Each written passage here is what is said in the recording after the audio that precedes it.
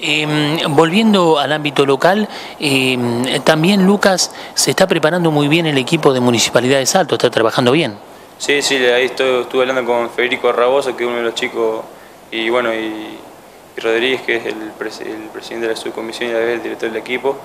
Eh, estuve hablando, sí, se vienen preparando muy, muy bien los chicos y bueno, eh, desearles toda la suerte para lo que se propongan. Eh, decíamos de todo el apoyo del sindicato de la televisión y también eh, el apoyo de mucha gente que siempre a uno lo acompaña, ¿no? Sí, sí, el apoyo es importantísimo eh, en el deporte. Eh, así que, como siempre, agradezco por las redes o por la radio, por la televisión. agradecer siempre a todas las personas que están apoyando, mandando mensajes.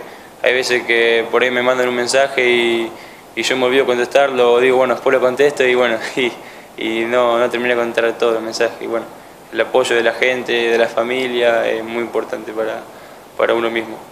Caes del momento que estás viviendo porque con 17 años haber logrado tantas cosas, eh, bueno, a uno le permite, por un lado, estar muy orgulloso, pero también decir, puedo seguir superando metas. Sí, sí, obviamente, nunca, nunca hay que plantarse, por así decirlo, en ningún lado, siempre hay que seguir pensando para adelante. Y bueno, y eso sí, que hay veces que me pongo a pensar que no, nunca pensé que iba a lograr tantas cosas en el ciclismo. A veces me pongo a ver fotos y digo, mira lo- dónde corrí acá y mira dónde estoy ahora, o dónde podré ir eh, en un futuro, así que bueno, vamos a tratar de seguir adelante para, como ya dije eh, antes, eh, poder ir a correr al extranjero. Se planteó también la posibilidad, me decías, de un equipo de San Juan para estar corriendo lo que es eh, la Vuelta de San Juan, una de las competencias a nivel internacional más importantes, ¿no? Sí, sí, al ir allá, bueno, a lo que es la capital de San Juan, que es una eh, capital de San Juan, capital de ciclismo, que se le dice, ahí corrijo, que es eh, también potencia, por así decir, nacional de ciclismo, lo que es acá en Argentina. Muchos equipos siempre están viendo a, a los chicos que van a correr, a la, a la gente que, que va, que también, como esa vuelta son vueltas internacionales.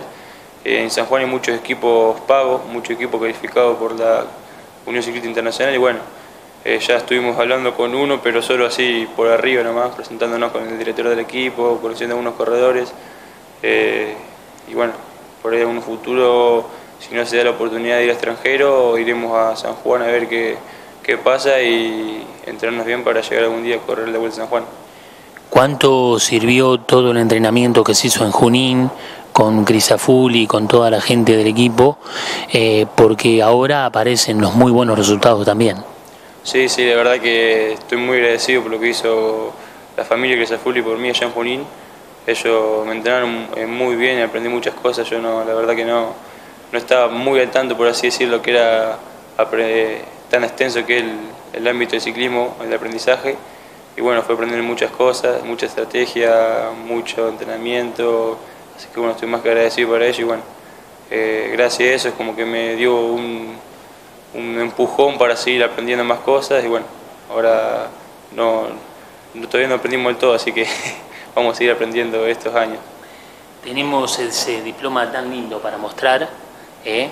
para ponerlo adelante de la cámara y que certifica el subcampeonato en la especia- especialidad contrarreloj individual de la categoría varones junior. Eh, y bueno, eh, a seguir adelante, felicitaciones por todo lo que has logrado y bueno, las mejores expectativas para lo que viene. Y por supuesto, reiteramos, siempre está presente todo el apoyo que, que has recibido y que seguís recibiendo y que sirve de estímulo para, para lo que viene, ¿no? Sí, la verdad, bueno, muchísimas gracias y también, bueno, quería agradecer siempre, como agradezco, y porque es lo que hay que hacer a la gente que siempre te apoya, a la Municipalidad de Salto, a Deporte Salto, a la Subcomisión de Ciclismo, bueno, a toda mi familia, a mis amigos y, bueno, y a ustedes que siempre están eh, detrás de todos los deportistas haciendo las cosas como se debe y así apoyándonos. Muchísimas gracias.